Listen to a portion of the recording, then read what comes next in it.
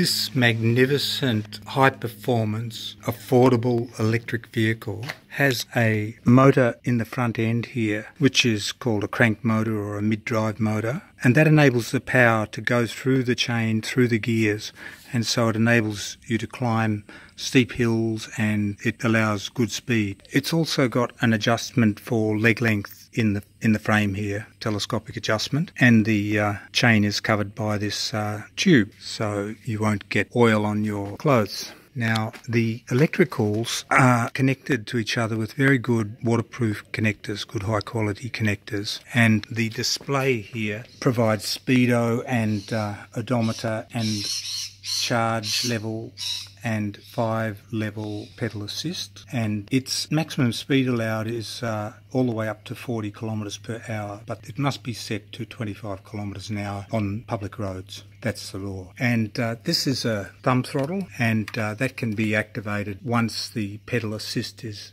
activated by pedaling. And we have uh, dual mirrors really nice mirrors an 8 speed gear changer twist grip which is great because you don't have to take your hands off the steering while you're changing gears. We've got dual good quality disc brakes that can really pull you up quickly and the uh, brake hand grips with electrical cut off. And the uh, tie rod can be twisted to vary the toe in of the wheels if you want to muck around with that. The seat is fabulous for uh, cool airflow and you've got the neck rest and uh, a flashing warning light and warning flags.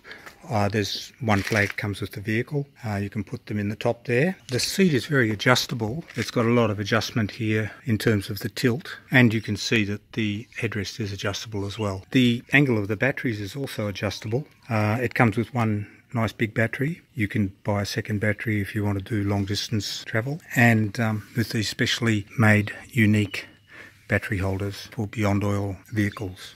It's got 8 speed rear gears, they're Shimano gears, and uh, a good quality steel rack with uh, provision for pannier bags. And the uh, mudguards are plastic. We have another flag pole position there if desired. Uh, speedo sensor there. And we've also got uh, a rear brake here which is used as a handbrake and the handbrake is operated from this lever uh, which is under the seat. So it's nicely hidden little handbrake good for securing the bike for short periods of time.